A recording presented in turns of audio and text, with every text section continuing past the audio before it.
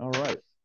Hey, everybody. This is Justin Berry with uh, Get Recruited. I'm joined by the one and only Ville Berg, uh, or in my English accent, William Berg, uh, at, sure. at uh, Purdue University. Uh, one of the most highly recruited uh, prospects coming out of Sweden two years ago, and is now playing for what will be a top five team in the country. Um, Ville, how are you? You doing, man?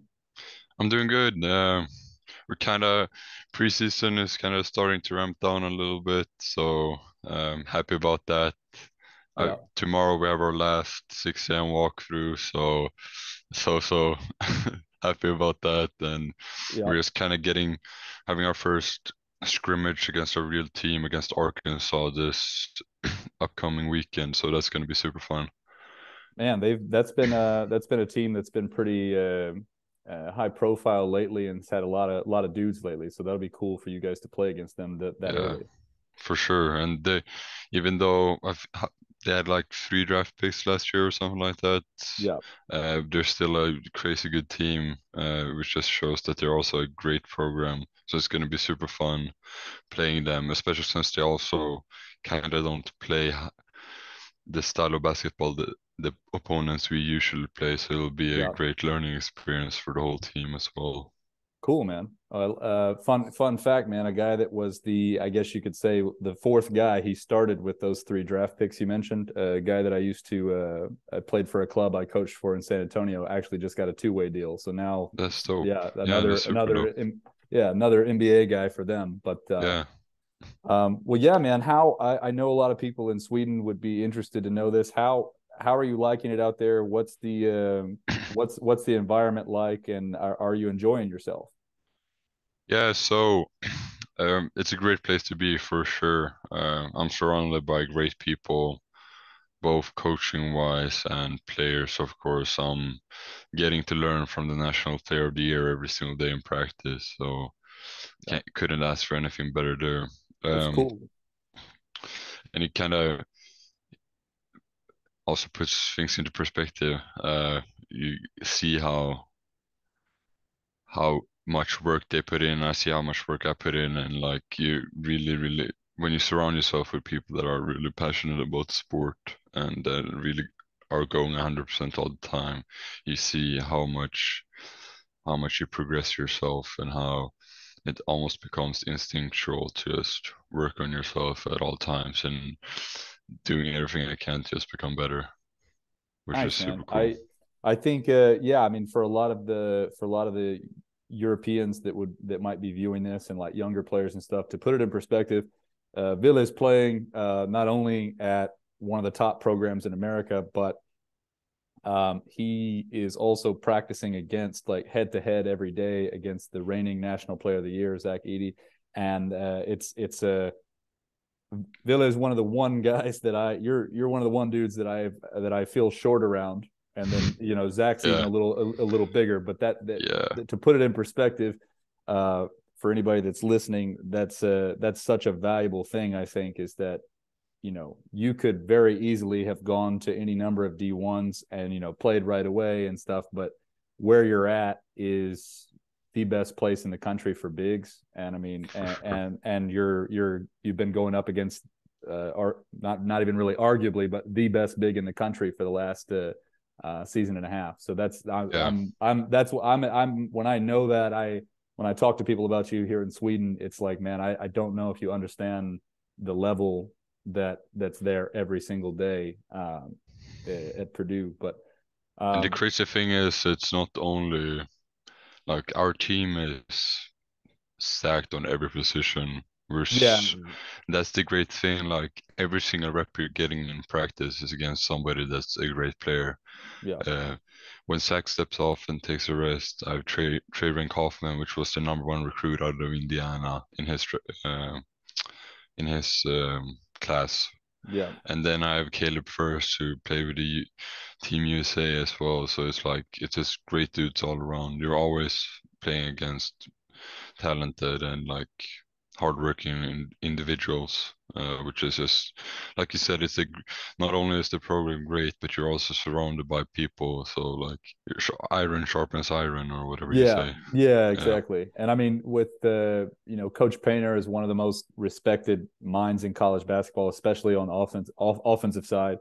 Um, but I, what I've always enjoyed about Purdue is that the, you know, they they do get some heavy hitters in there that are ranked players, but there's also guys that are just really good fits and exactly. that, that, that are maybe not as highly ranked and that are, you know, by American standards are a bit under the radar. But it's like, well, they're they're they're good enough for Purdue because they fit and they know how to play.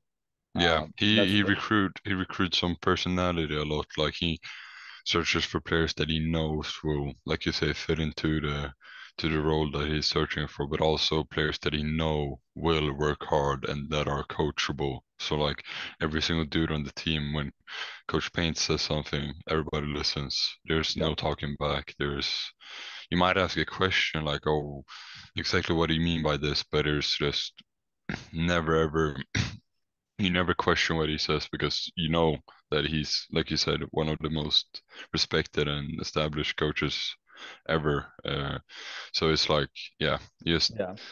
take it in and be grateful that you're able to learn from him.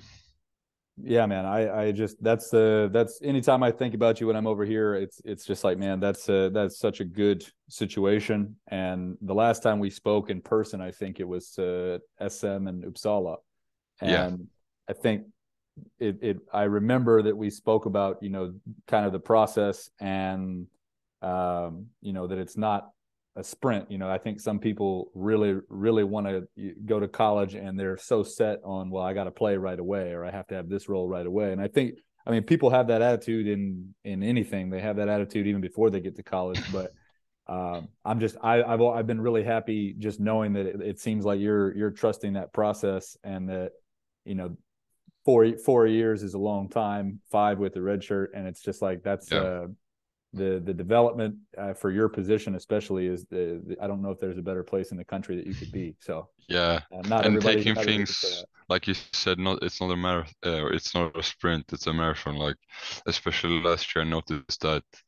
Um, when I kind of got ahead of myself is when things started to not go bad, but like I got a dip in my performance. So it's yeah. being just trust the process. Like the plan they have for me here is a good one, and they they've seen me now for a, for more than a year, so they know they know how much I've developed in this year, and they know what where to push and where to build and yeah what areas I need to focus on. So I can remember, uh, you know, shortly after the the very first get recruited showcase. Uh, I had just got home uh, back to Texas, and I got a call from uh, a guy who's now I would call a friend uh, and and uh, uh, a colleague of sorts. Brandon Goebel called me. Yeah, I can remember. shout out Brandon, by the way, with JUCO Advocate, does really really good work, and he's one of the heavyweights in college basketball recruiting. But I I can remember he called me specifically about you, and he said hey man, uh, I've got a few on the line here, uh, schools wise, but I, you know, d- what do you think? Like, can like how good is he? And you know, I I I told him told him my opinion, and he said, well, I think so too. And um, then you know, in a, a, few weeks as that went on, uh, you know, Brandon worked a little bit of magic, and then people started to kind of uh, uh, see you a little bit more, and it was like, oh shoot, who is this? Who's this guy? And yeah, yeah, with at that time I think it was like Texas Tech and Purdue, wasn't it? Yeah, yeah. and then Utah State. Exactly, Utah State. They were. I talked to Boise for a while. Yeah. Uh, Montana State was my first one. Yeah, if you play, it, if you're a forward center though, and Purdue comes calling, I mean that's that's a uh, yeah, it's hard to say no. Yeah, especially when you they also we built a great relationship in the whole recruiting process. I talked to them almost every single day. Yeah. Uh, and like we were on the same page about everything. I knew what to expect from them, which just made the choice so much easier as well. Cool. And then Brandon, Brandon, like you said, shout out to him. He's a great guy. Uh, he really he picked me up. I think my first the first time he saw me or really reached out to me was when we won the Nordic Championship with the U18 team. Yeah. Or yeah. Um, and kind of he had, that's when the recruiting started to pick up back then. Uh, but he has like talked to me and I feel like that that's such an important part about like everything with basketball, having a good relationship with people, the people around you. Uh, yeah, since, I mean that's interacting that's the, with everyone. Yeah, that's the coolest. Uh, I, I, mean, one of the coolest things from, I mean, from my experience and almost everybody's experience, I guess, like if from on the playing side, the coaching side, um, the recruiting side, it's just the the relationships uh, matter, and relationships are what what make it through. It's uh, over over all the other stuff. Um, For sure. So what? Uh, here's another another thing I'm curious about, and I think some other people are curious about, uh, especially uh, with so many so many more kids every year becoming uh, interested in going to college and playing in college. What what's been um, what's been your favorite moment uh, off the court? Not favorite moment, or but what's your favorite experience off the court? What's your what's your favorite thing about being over there that uh, that you can think of? Now I know since like the community surrounding Purdue is mind blowing. Um, when I traveled here coming back from Sweden, people at the airport were coming up to me talking and like, "Do you need a ride back to West Lafayette?" And like, just to, I feel like that's the best thing for me, especially somebody that's moving across the world to the yeah. US. Just having that community around around your school that I feel doesn't really exist in Sweden. Yeah. In the same way, or Europe in general. Like here, everyone is like a die-hard Purdue fan if you went to Purdue. Like it's yeah. you're just a one big one big family. Everybody looks out for each other and everybody tries to be nice and welcoming. And it's just for me that was one of the biggest surprises as well because like in Sweden nobody really gives um yeah yeah about like where you graduated from or where you're from yeah. really so it's uh, surprising for sure yeah, man. I um yeah, I mean that's that's exactly the type of answer I expected to get from you. Uh, I know for sure in this series of uh, chats and interviews, I might hear from some other people that might say tailgates or football games or parties, but but uh, which are all fun too. But I I uh, no, I can appreciate that answer because it it just uh, it's one of those things. I guess you can see videos of it, you can see uh, you can hear people talk about it, but it's something that you don't fully get until you're in it. Uh, exactly. it's uh, but yeah, it's a it's a cool cool thing to have people that have your back that you've never met. Uh, For sure. Um, what uh, what would you say? And I think you'll know what I mean by this. Like, what what would you say was your welcome to college basketball moment? So you're you're a you're a really uh, I mean, you're a mature you're a mature kid, but we we talked a lot before you went over in the first place and when we were training in Stockholm, um, and I knew that you knew what you were getting into, so to speak. But there's still going to be that moment. What would you say it was for you? For sure, uh, like I feel like when you get to a certain point, you're always gonna think that you're more ready than you are before yeah. coming over here. Yeah. Uh, just the speed, the pace, the physicality of everything. Uh, it's just different compared to back home, and you it's like a whole whole it's gonna sound corny but a whole new world opens up when you get over here and experience all that. And for me i kind of that welcome to college thing was when when we properly started playing like uh, pick up and scrimmage my first year my freshman year that is uh, and Zach really started to get going. And like I've been in the strength program for a while now. Uh, back then, so I started to like lean up, become more more burly, more muscly, and but it was still like I'm playing great defense, but it didn't matter because yeah, yeah. yeah. At the end that, of the day, yeah. you can only do so much, and it's at that point you kind of in the beginning it hits your confidence like a yeah man bomb yeah. and yeah. something something i battle with a lot and still battle a little bit with but it's you kind of have to keep in perspective and like see who like we're top we're ranked number three now uh, and it's like we're we're that high for a reason we have the people on the team to be that good so yeah. obviously even though you're playing great sometimes they're going to make a bucket. Sometimes everything is not going to go regarding according to your plans. So yeah. it's just that's that's a process.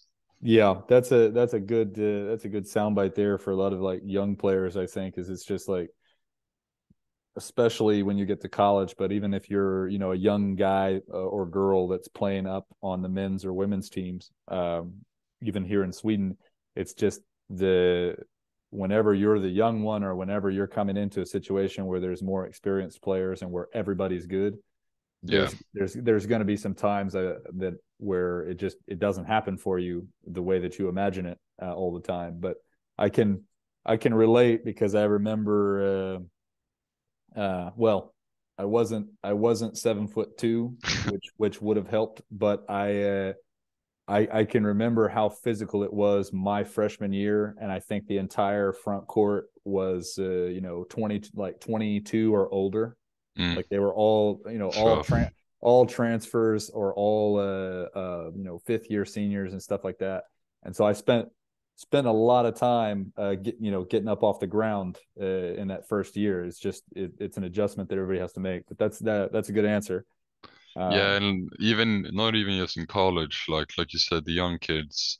I remember when I moved to Luleå, even uh, I kind of had the same bump, like like you say, because you're now you're playing against people that are older you than you, more experienced. Yeah. Um, not to the same extent that it was over here, but it was still a little bit of a bump. And I feel like that's a good thing as a player to kind of keep in mind that you might in your hometown team you might be the best player, but when you get recruited somewhere that's searching for great players, obviously, obviously there's going to be other great players there too. Yeah. So just adapting to that and like not realizing that you might not be able to do all the things that you did back home or in your previous place and kind of just pushing yourself to still be able to do that, but also accepting that your coach recruited you to come to his team for a reason, where that is playing defense or scoring or whatever it is. Just accept, not accepting, yeah. but embracing that role and yeah. Yeah. Well, the, the just understanding like the concept of you you wouldn't be there if you weren't good, and you, exactly. you wouldn't you wouldn't know people people wouldn't want you if you couldn't play. Uh, so, um, but that brings me kind of to the the next thing I, I wanted to ask is, uh, and I mean you can go as deep into this or not uh, as you want. But what you know it's very easy for people to focus on you know not just with you but with any any any players that are out there doing it. It's easy to focus on the positive things. So it's like right now like we've said it like you know uh start it start it you know originally Skuru RIG Luleå gets over. He's at you know top 3 top 3 school in the country it's super easy to focus on on positive things. And i think that's what people are drawn to. But what what would you say along this whole the whole journey thus far what would you say has been your biggest challenge or your biggest your biggest hurdle that you had to get over?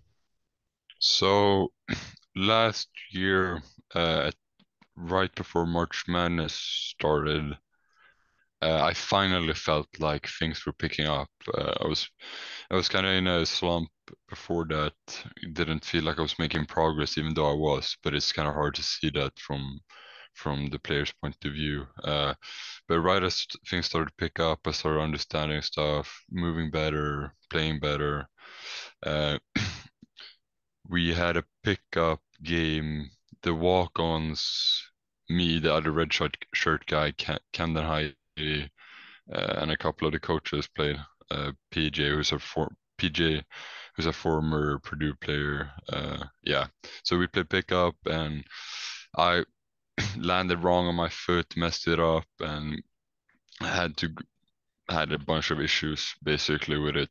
And the biggest hurdle was like because I was already preparing to going into that summer to play with a a U20 team uh, with I think that Bobby played as well, so I was yeah. super excited to play with him because I saw the season he was having, uh, and then that kind of just hit me in the face. Uh, however, it was kind of a blessing in disguise since I've always had issues with my feet. They kind of went in there and cleaned everything up.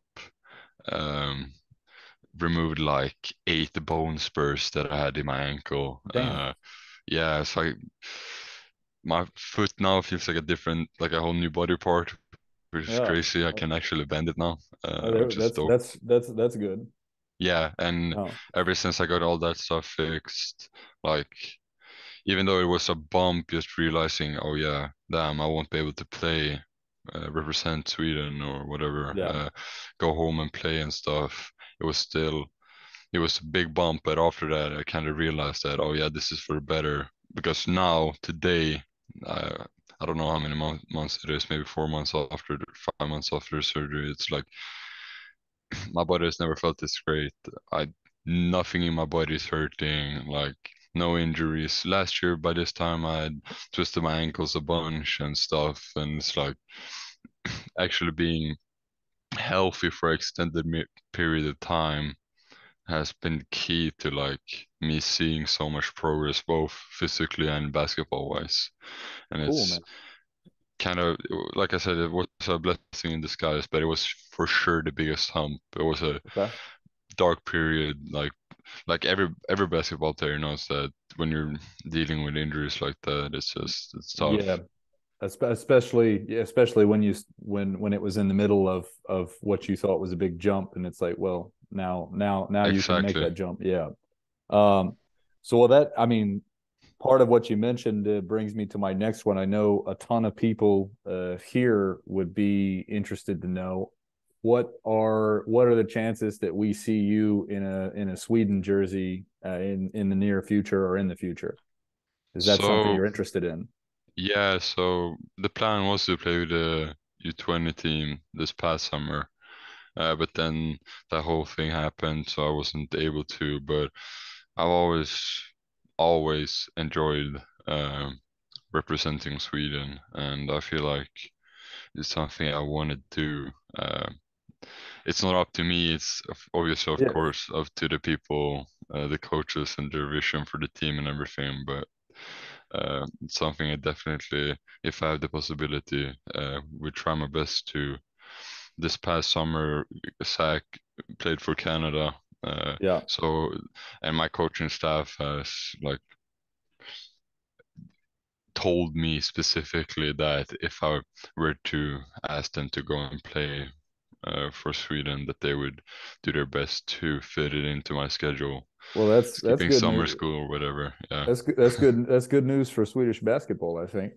yeah, Um, well, yeah, man. I think uh, in general, I mean, you're you're part of you're part of this, and I think the uh, there's a wave coming. I've been trying to convince people for a few years now. I think there's a um, a wave of Swedish players uh, that are a, a lot different from from batches in the past. It's not to say that there hasn't been any successful teams, but I mean, you guys with the under 20s and then the uh, the other under 18 group, there's there's uh, a lot of talent coming out that's that's uh you know per capita is pretty impressive for Sweden. Yeah, Uh, so for I, I sure. think yeah, I think the prospective team you guys could put on the floor uh, is super interesting. Um, well, yeah. Well, I don't want to keep you forever, man. My my last uh, my last question, I would just say if you if you could give any advice, uh, any any sort of short advice to to players that are from where you're from and they're trying to get where you're at, not necessarily Purdue, but to to the side of the world that you're on and in the in the college basketball scene, what would you uh, what would you say to them if you could? Uh, I would I have two things I would say. Um, especially being from Europe, it can be hard sometimes to get the looks that you deserve, uh, which often can lead to you, not that it's a bad thing, but getting offers from JUCOs or whatever. And I feel like there's a lot of bad um, uh, prejudices or like, uh, yeah, around that. And Yeah, people hear that and are like, oh no.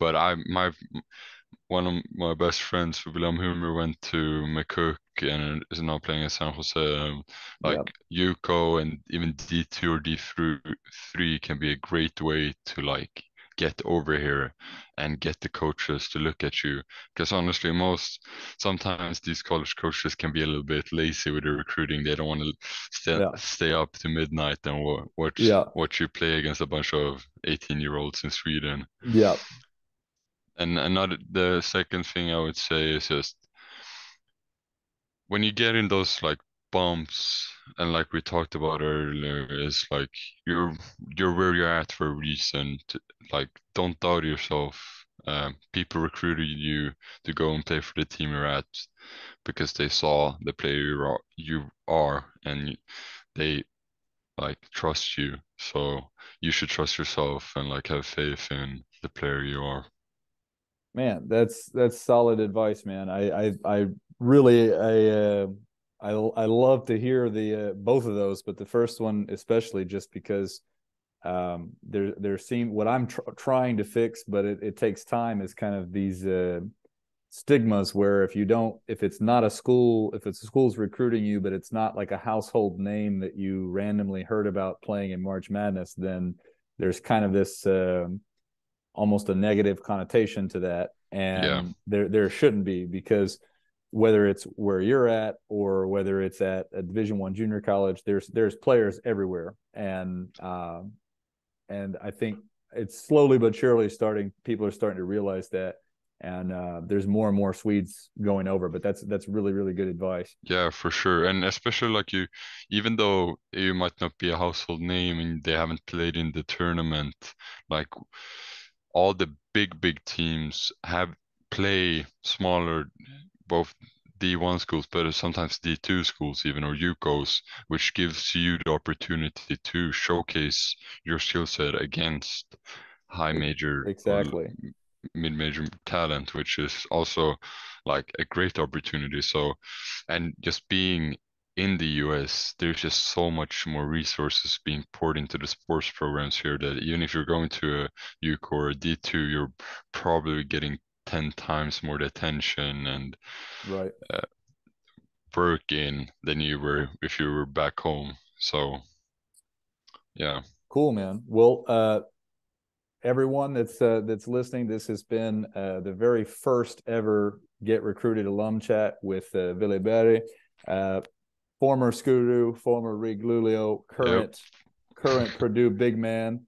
Uh, shout out to all three and Ville. I really I appreciate you joining me, man. This is this has been cool. Thank you, and thank you for having me as your first as well. I feel yeah. I feel honored. yeah, man. Well, um, well, stay tuned, uh, guys. There'll be uh, more get recruited alum uh, chats coming up soon, and uh, good good luck this year, Ville. Thank you. I appreciate it. Yeah.